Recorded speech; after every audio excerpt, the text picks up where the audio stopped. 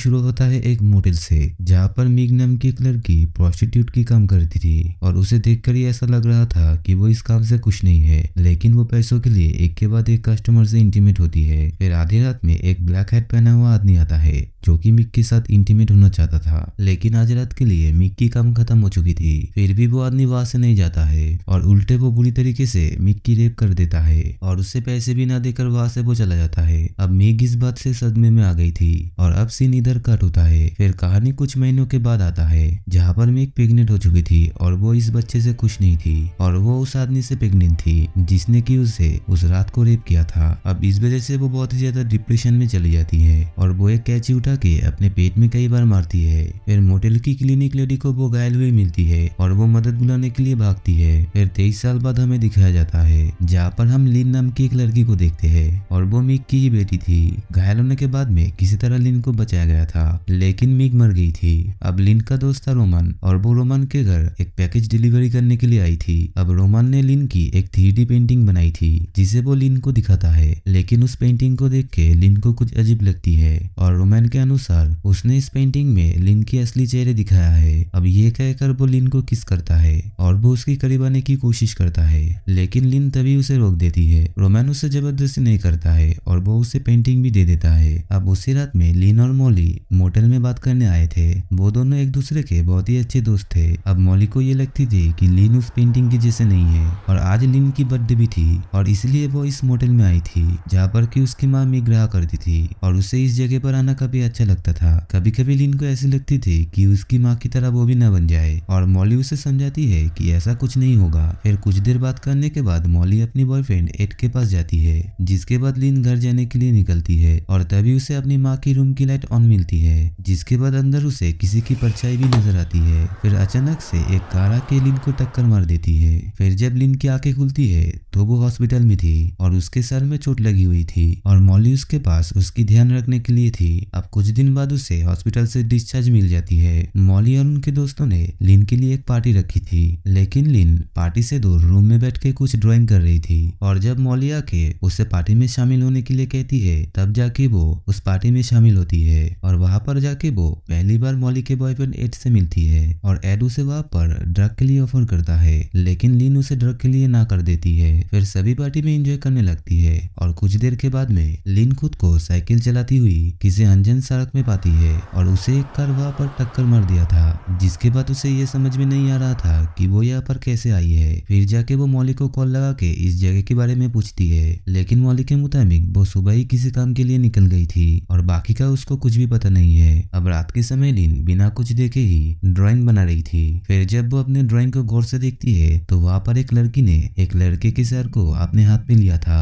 और पास में लिखा हुआ था किल हिम अब लिन को ये पेंटिंग काफ़ी ज़्यादा क्रीपी फील करवा रही थी, जिसके बाद वो उसे कोने में रखकर एक कपड़े से ढक देती है। फिर सुबह होती है और लीन एक्सरसाइज करने के बाद में नहाने के लिए जाती है और वहाँ पर वो नोटिस करती है कि उसके प्लास्टर लगे हाथ में घाव हो रहे हैं, जिसके बाद वो शावर में किसी के परछाई भी नोटिस करती है। जब वो बद हटा के देखती है तो वहाँ पर कोई भी नहीं था, जिसके बाद ही कोई उसका नाम पुकारती है और उसे खुद का ये क्रीपी वर्जन नज़र आती है और उसे अब कुछ विजन नज़र आती है और वो वहाँ पर रोमान को नोटिस करती है। फिर वो अचानक खुद को अपने दोस्तों के सामने नेकेट खड़ा हुआ पाती है। फिर मॉली लिन को सुनाने लगती है कि वो पूरी शहर में टावल में घूमकर यहाँ पर नेकेट क्यों खड़ी है। लेकिन लिन को कुछ याद ही नहीं है। फिर मॉली देखती है कि लिन के पैर में एक कांच का टुकड़ा घुसा हुआ है, जिसके वजह से उसके पैर से खून निकल रहा था। फिर कुछ ही तरह लिन अपने पैर से वो कांच का टुकड़ा निकालती है और मॉली उसे एक डॉक्टर के पास ले जाती है और डॉक्टर लिन की सब बातें सुन के उसकी एमआरआई करने के लिए बोलती है और उसे ज़्यादा चिंता करने के लिए मना करती है, जिसके बाद सभी बातों को समझने के लिए लीन अपने माँ के रूम में आती है और कुछ समय वो वहाँ पर अपने माँ को याद करके दुखी होती है, जिसके बाद ही उसे बेड के अंदर किसी के होने का एहसास होता है। पर बेड के अंदर उसे वही क्रीपी लड़की नज़र आती है,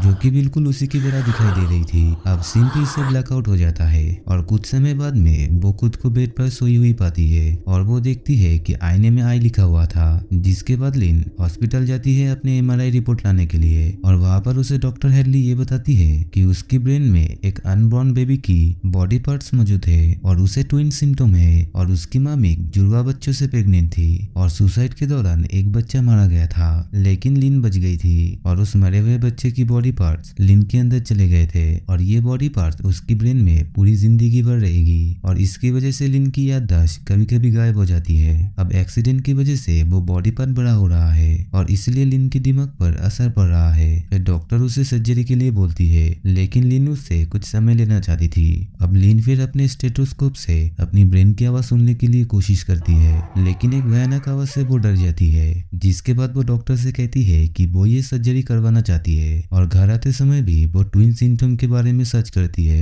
और इंटरनेट में लोगों की बातें भी उसी की तरह ही थी, जिसके बाद लिन ये सभी बातें मौली को बताती है और मौली उसे जल्दी से जल्दी सर्जरी करवाने के लिए कहती है। और तीन दिनों में लिन की सर्जरी होने वाली थी, जिसके बाद उन दोनों को लग रहा था कि तीन दिन के बाद सब कुछ ठीक हो जाएगा। फिर मौली उसे बहुत ही ज़्यादा कंफर्ट करती है, ताकि लीन अपने टेंशन को थोड़ा कम करे। फिर वो दोनों एक साथ फ़ोटो खींचती है, जिसके बाद मौली उसे रेस्ट करने के लिए बोलकर वहाँ से चली जाती है। जब लीन अपने घर के अंदर आती है तो वो देखती है, वो क्रीमी पेंटिंग अपने जगह पर नहीं है और फिर वो उस पेंटिंग को पहली की जगह रख देती है। उसे लग रहा था कि मौली ने उस पेंटिंग को वहाँ पर रखी होगी। फिर वो मौली के रूम में जाती है और मौली वहाँ पर नहीं थी और वो जब अपने रूम में आती है तो वो पेंटिंग फिर से उसी जगह पर चली आई थी और गुस्से में आके लीन उस पेंटिंग को वापस से रोमन के पास देने के लिए आती है। वो रोमन को आवाज़ देती है, लेकिन रोमन उसका कोई भी जवाब नहीं देता है और उसे वहाँ पर एक लैपटॉप में एक वीडियो मिलती है, जहाँ पर लिन टॉवल में थी और रोमन को नेकेट बेड पर बाँध के रखा गया था और उसे वहाँ पर वो टूटे हुए कांच के टुकड़े भी मिलते हैं, जिससे कि लिन की पैर जख्मी हुई थी और वहाँ पर उसके खून के पैरों के निशान भी थे और वो उस लैपटॉप को फ़ौरन अपने साथ में लेकर भाग जाती है, जिसके बाद वो एक सुनसान जगह पर जाती है और उस लैपटॉप को तोड़ के एक डस्टबिन में फेंक देती है। फिर अचानक लिन को उल्टी होती है और उसके मुँह से एक बालों का गुच्छा बाहर आती है, जिसे देखकर वो बहुत ही ज़्यादा डर गई थी और घर पे आके वो नहाती है और उसे खुद के ऊपर बहुत ही गिन होती है। जब वो अपने प्लास्टर वाले हाथ को नोटिस करती है तो वो हाथ पूरी तरीके से लाल हो चुकी थी। अब उस हाथ को दबाने के बाद उसे याद आती है कि उसने रोमन को मार दिया है और उसके बॉडी पर आई एम लिख दिया है। फिर कुछ समय बाद वो जब होश में आती है तो वो खुद को लिपस्टिक लगाते हुए पाती है और वहाँ पर आईने में आई एम कमिंग लिखा हुआ था। अब इसके बीच में क्या हुआ था लिन को कुछ याद भी नहीं था। रूम में आने के बाद उसे वो क्रीपी पेंटिंग बेड में मिलती है और गुस्से में वो उस पेंटिंग को ले जाके डस्टबिन में फेंक देती है। फिर घर आने के बाद वो अपने हाथों को बाँध देती है, ताकि वो अनजाने में कहीं पर ना चले जाए, जिसके बाद वो खुद को समझाने की कोशिश करती है कि कुछ दिनों में वो ठीक हो जाएगी। फिर लिन को नींद में कुछ सपने आती है, और जब वो नींद से उठती है तो उसका हाथ खुला हुआ था, और वो अपने पास एक चाकू को भी नोटिस करती है। मतलब कि उस चाकू से उसने अपने हाथों को खोल लिए थे, और उसके पैर भी मिट्टी से भरे हुए थे, और हाथ भी खून से सने हुए थे, और वो पेंटिंग अपने आप ही रूम में आ गई थी। तभी मौली उसे आवाज़ लगाती है, और वो उसे अपने शो के लिए बुलाने आई थी, जिसके बाद लीन उसे कुछ टाइम बाद जाऊँगी बोल के प्रॉमिस करती है।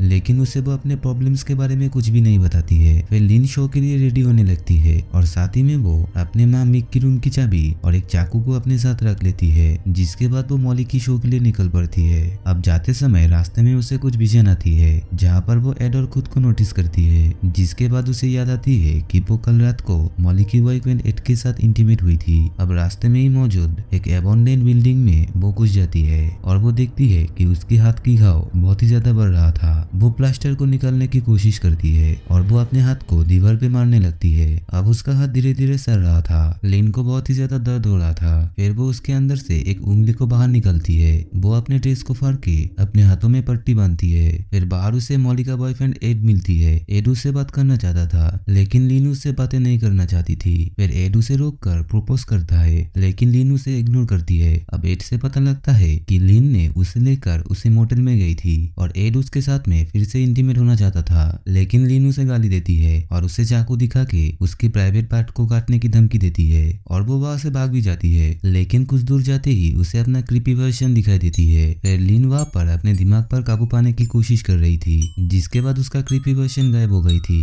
वो फिर से अपने घर में आती है और डोर को लॉक कर देती है और खुद को अच्छे से बेड से बाँध लेती है, क्योंकि वो कंट्रोल में रहे और फिर से कहीं भागे नहीं। अब फिर से उसे सपना आता है कि वो रास्ते में भाग रही है और सुबह में वो खुद को बेड में बंधा हुआ पाती है और उसका डोर भी बंद हुआ था। फिर लीन रूम से बाहर आती है, जहाँ पर मॉली उससे नाराज़ बैठी थी, क्योंकि वो मॉली के शो पर नहीं आई थी और उसे लिन के रूम में कुछ अजीब ड्राइंग भी मिलती है। और एक पेंटिंग में तो लिन एट के साथ में इंटीमेट हो रही थी, लेकिन लिन को तो कुछ याद ही नहीं था कि उसने इस ड्राइंग को कब बनाया था और अब एड मॉली का कॉल भी नहीं उठा रहा था। लेकिन लिन और एड की इंटीमेट के बारे में कुछ भी नहीं बताती है और मॉली को ये लग रहा था कि वो दोनों इंटीमेट हुए हैं और लिन मॉली को समझाती है कि एड अच्छा लड़का नहीं है। उसने बस उसे डराया था, जिसके बाद मॉली पुलिस को कॉल करने वाली थी, क्योंकि लिन खुद के लिए और किसी और के लिए खतरा बन रही थी। और तभी हम देखते हैं कि लिन पर उसकी क्रीपी सिस्टर हावी हो रही थी। अब अचानक से लिन मॉली पर अटैक कर देती है। फिर लिन होश में आके खुद को रूम में बंद करके मॉली को भागने के लिए कहती है, क्योंकि वो नहीं चाहती थी कि मॉली को कोई नुकसान हो। फिर वो खुद को बेड से बांधी रही थी कि तभी मॉली वहाँ पर आ जाती है और लिन वापस से पजिस्ट होके मॉली पर अटैक कर देती है। लेकिन किसी भी तरह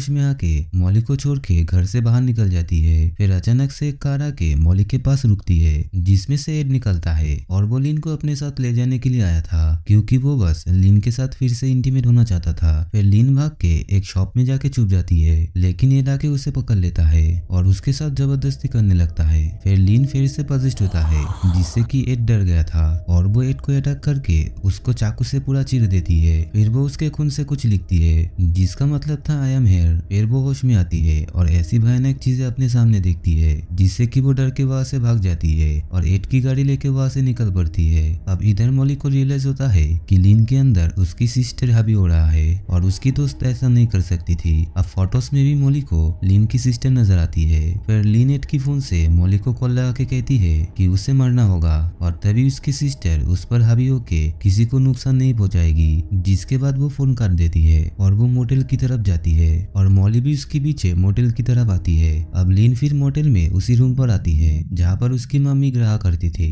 और उसकी सिस्टर दिमाग में बात करके उसको रोक रही थी। फिर लीन अचानक काफ़ी सारे नींद की गोली खा लेती है और अचानक से उसकी सिस्टर उस पर हावी होने लगती है। फिर लीन एक कांच के टुकड़े से अपने हाथों की नस को काटने लगती है और तभी वो वहाँ पर अपने क्रीपी सिस्टर को नोटिस करती है और वो क्रीपी सिस्टर लीन की जगह लेना चाहती थी, क्योंकि वो मिक की वजह से इस दुनिया पर नहीं आ पाई थी। लेकिन अब उसके पास मौका था कि वो हेलेन के ज़रिए ज़िंदा हो पाए। अब इधर मॉली आ गई थी। लिन मॉली को वहाँ से जाने के लिए कहती है, लेकिन मॉली वहाँ पर रह के लिन की मदद करना चाहती थी, जिसके बाद लिन फिर से पजिस्ट हो जाती है, और वो अपने हाथों से सर की चमड़ी को फाड़ने लगती है, और मॉली बस डरता हुआ ये सब देख रहा था। फिर जाके वो खुद को एक बाथरूम में बंद कर लेती है, लेकिन पजिस्ट लिन डोर को खोलने की कोशिश कर रही थी। अब बाथरूम की खिड़की से मॉली बाहर आ जाती है, और कार में आके बैठती है, लेकिन वहाँ पर कार की चाबी नहीं थी। अब मॉली कार से बाहर निकलते ही पजिस्ट लिन आके उसे डरा देती है, जिसके बाद मॉली फिर से रूम में आती है और पजिस्ट लीना के उसका गला दबाने लगती है। अब इधर वो मौली की जान लेने वाली थी